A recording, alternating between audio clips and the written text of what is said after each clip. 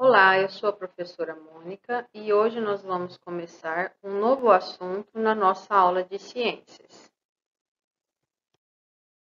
Hoje falaremos sobre o sistema endócrino, as glândulas. Imagine-se é, em uma situação em que você leva um susto ou está com medo. O seu coração acelera, você empalidece e a sua frequência respiratória aumenta. De onde será que vem tudo isso? E o que dizer das mudanças que você experimenta no seu corpo recentemente? Você vê isso nos seus colegas, por exemplo. Uns crescem mais, outros menos, mudou a voz, a forma do corpo, a distribuição dos pelos. E o que será que desencadeou todas essas mudanças e qual a implicação delas no seu corpo? Essas respostas têm em comum o sistema endócrino, que, juntamente com o sistema nervoso, participa dos processos de comunicação, controle e coordenação entre os órgãos. Quando estudamos o sistema nervoso, vimos que a percepção do mundo externo e interno ocorre por, por meio dos impulsos nervosos. Ao receber essas informações, o sistema nervoso central ele elabora uma ação que será efetuada pelos músculos e pelas glândulas, em resposta ao estímulo recebido. Você já deve ter ouvido falar em glândulas, por exemplo, as glândulas sudoríferas, que são responsáveis pela secreção do suor, que ajuda a controlar a temperatura do corpo humano. Você também estudou as glândulas salivares e o pâncreas, que fazem parte do sistema digestório. É, lançando substâncias digestivas né, durante o processo de digestão. As glândulas, elas são órgãos compostos de tecido epitelial, cujas células são especializadas em produzir e secretar substâncias que serão utilizadas pelo organismo. Não confunda esses dois termos, pois não são sinônimos, que seria secreção e excreção. A secreção é a eliminação de alguma substância produzida por células dentro de um órgão do corpo ou da corrente sanguínea e que será utilizada. É o caso, por exemplo, da saliva lançada na boca ou dos hormônios lançados no sangue. Já a excreção é a eliminação de alguma substância prejudicial, geralmente um composto que contém nitrogênio por exemplo, a urina ou também as fezes. Vamos falar então da secreção de substâncias. Então, essa, essa secreção, elas ocorrem por glândulas que podem ser exócrinas ou endócrinas. Os produtos de algumas glândulas são lançados na parte externa do corpo ou nas cavidades de órgãos ocos. Essas glândulas são classificadas como exócrinas, que é o caso por exemplo, das glândulas salivares, mamárias, sudoríferas e sebáceas. Essas glândulas exócrinas, aqui na imagem ao lado, elas estão marcadas em azul, né, com um ícone azul. Outras glândulas, elas lançam o seu produto na corrente sanguínea, são as chamadas endócrinas, e o seu produto são os hormônios. As glândulas endócrinas e seus hormônios formam o sistema endócrino, que nós vamos falar com mais detalhes agora na aula de hoje. Estas são as glândulas endócrinas. Nós temos então a hipófise, o pâncreas, os ovários, os testículos, a suprarrenal, a tireoide e a paratireoide. Vamos falar é, um pouquinho sobre cada uma delas. A hipófise, também conhecida como glândula mestra, Analisando a imagem ao lado, podemos observar que ela está abaixo do cérebro, ela é bem pequenininha, né, do tamanho de uma ervilha. E na imagem ao lado, ela está um pouquinho mais aumentada para que a gente possa observar as suas partes. Essa glândula, ela está ligada ao hipotálamo, que é uma região do encéfalo que recebe uma enorme quantidade de estímulos de todo o corpo e ela atua intensamente sobre a hipófise, produzindo hormônios que são armazenados nesta e estimulando a liberá-los na corrente sanguínea. Juntos, esses dois órgãos são responsáveis por quase todos os aspectos do metabolismo, pelo crescimento, pelo desenvolvimento e pela manutenção da homeostase do organismo. O próximo quadro, ele apresenta os principais hormônios da hipófise e os seus efeitos. A hipófise ela é dividida em duas partes, a hipófise anterior e a hipófise posterior. Vamos ver os hormônios da hipófise anterior. Ela produz o hormônio somatotrófico, que é o GH, que promove o crescimento, o adenocorticotrófico, que é o ACTH, ele age sobre o córtex das adrenais, cujo hormônio controla o metabolismo da glicose, das proteínas e das gorduras. O hormônio tireotrófico, que é o TSH. Ele estimula a glândula tireoide, cujos hormônios agem sobre o metabolismo de todo o organismo. O hormônio folículo estimulante, que é o FSH, ele estimula a produção de óvulos e espermatozoides. Também temos o hormônio luteinizante, que é o LH, que age sobre os testículos e os ovários, estimulando-os a produzir os seus próprios hormônios. O hormônio da prolactina, que estimula o crescimento das mamas e a produção de leite pelas glândulas mamárias durante a gravidez. E agora os hormônios da hipófise posterior, nós temos a ocitocina, que estimula a contração do útero na hora do parto, e o hormônio antidiurético, que é o ADH, que regula a reabsorção de água nos rins e, portanto, o volume de urina.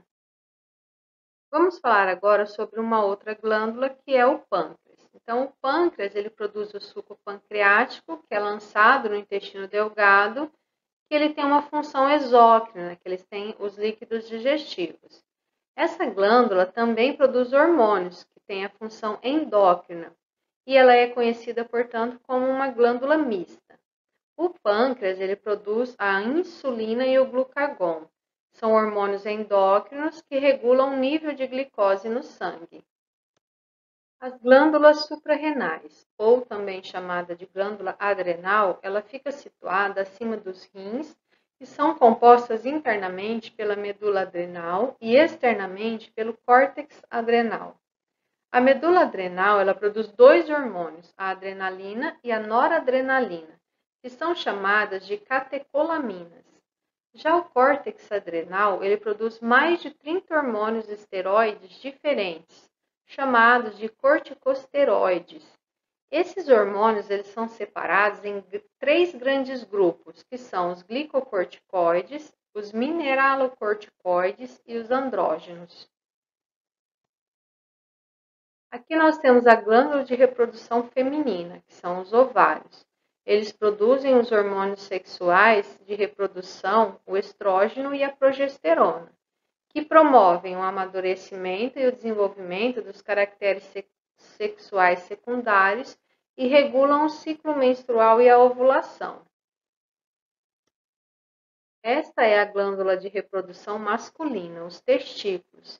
Os testículos, eles produzem o hormônio testosterona e promovem o amadurecimento e o desenvolvimento dos caracteres sexuais secundários.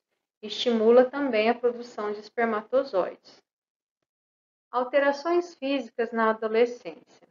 Na adolescência, progressivamente, estrógeno e testosterona aumentam seus níveis nas meninas e nos meninos, respectivamente. Esses hormônios são os grandes responsáveis pelas mudanças corporais que ocorrem na puberdade. Nas meninas, o primeiro sinal da puberdade é o surgimento do broto mamário. A puberdade ela vai progredindo com o aumento dos pelos corporais, o aumento da velocidade de crescimento, até culminar com a menarca, que é a primeira menstruação. Já nos meninos, o primeiro sinal da puberdade é o aumento do tamanho dos testículos. Há também o aumento da velocidade de crescimento, o crescimento do órgão genital, o surgimento de barba e o aumento dos pelos corporais. É muito importante dormir bem na adolescência. O sono de qualidade é necessário para as transformações da puberdade. Os hormônios responsáveis pelo crescimento e pelo desenvolvimento dos testículos e das mamas são liberados mais no período noturno e dependem de uma regularidade de sono. Esta é a glândula paratireoide, que produz o hormônio do paratormônio, que tem a função de elevar o nível de cálcio na corrente sanguínea, removendo-o dos ossos. Aqui nós temos a glândula tireoide, ela fica próxima à glândula da paratireoide. A glândula tireoide, ela produz o hormônio tiroxina, T4, e triiodotiroxina, que é o T3. Elas estimulam os processos metabólicos, aumentando a respiração celular de quase todas as células. Tem um papel extremamente importante de ajudar a regular o metabolismo e o equilíbrio do organismo. Essa glândula também produz a calcitonina, que baixa a quantidade de cálcio na corrente sanguínea, aumentando a deposição de cálcio nos ossos. A tireoide é controlada pela hipófise, uma outra glândula localizada no cérebro, que por sua vez é controlada por uma região do cérebro chamada hipotálamo. Por isso, alterações em qualquer uma dessas regiões podem provocar problemas e sintomas relacionados à tireoide. Agora nós vamos falar de duas doenças é, muito comuns na sociedade, que é o hipertiroidismo e o hipotiroidismo. Essas são doenças provocadas pela alteração dos níveis de hormônios secretados pela tireoide, elas podem ter causas congênitas, autoimunes, inflamatórias ou secundárias a outras doenças, ou também de efeitos colaterais de tratamentos, por exemplo. De uma forma geral, o hipertiroidismo há um aumento da produção de hormônios T3 e T4 e diminuição de TSH, enquanto que no hipotiroidismo há uma diminuição de T3 e T4 com elevação do TSH. Entretanto, podem haver variações a depender da causa. No exame clínico, o endocrinologista apalpa o pescoço para ver se há alguma alteração na tireoide. Porém, para confirmar se a glândula está trabalhando lentamente, é preciso fazer um exame de sangue. Aqui na imagem ao lado, nós temos alguns sintomas né, dessas doenças. O hipotiroidismo tem, apresenta o cabelo seco, irritabilidade, cansaço, pele seca e áspera, e a tireoide, né, que fica localizada no pescoço, ela se encontra diminuída. Já no hipertiroidismo ocorre a perda de peso, olhos salientes, suores, pescoço inchado, porque a tireoide ela fica aumentada. O diagnóstico. Então, além né, do, do, exame físico, existe também o exame de sangue e o uso do ultrassom, que ele pode ser indicado para continuar a investigação. Num quadro de hipotiroidismo, a glândula tende a ficar atrofiada. Se o médico suspeitar de um tumor, um exame chamado de cintilografia pode ser prescrito. Com exceção do teste do pezinho, que denuncia o hipotiroidismo congênito no recém-nascido, o ultrassom do pescoço e os exames que calculam os hormônios TSH, T3 e T4 não precisam ser feitos com frequência em suspeitos mais jovens, a não ser quando existir algum sintoma ou histórico de doenças de tiroide na família.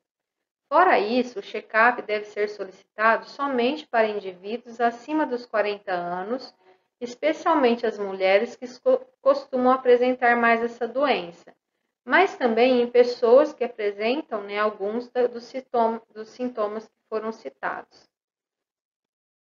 Aqui nós temos mais alguns né, dos sintomas é, dessas doenças. No caso do hipertiroidismo, o aumento da frequência cardíaca ou palpitações, nervosismo, agitação, inquietação, insônia ou dificuldade para dormir, emagrecimento, aumento da sensação de calor, pele avermelhada, face rosada, instabilidade emocional, diarreia, pele quente e úmida, o bócio, né, que é aquele caroço no pescoço, e tremor no corpo. Já os sinais de hipotiroidismo seriam cansaço, fraqueza e indisposição, lentidão física e mental, dificuldade de concentração e memória fraca, inchaço corporal, excesso de peso, pele seca e áspera, prisão de ventre, intolerância ao frio, impotência sexual, queda de cabelo e sensação de frio extremo. Aqui nós temos alguns alimentos que ajudam no funcionamento da tireoide. A prevenção é o fator mais importante. A glândula precisa de iodo para a formação dos hormônios T3 e T4. Cerca de 150 mg do mineral é a quantidade perfeita para resguardar a tireoide. Então, nós temos os alimentos: algas marinhas, castanha do Pará, quinoa, óleo de peixe, leites e derivados, gema de ovo, carne vermelha e laranja. O tratamento. Quando a produção da tireoide está baixa, a saída é fazer a reposição com uma versão sintética do hormônio T4.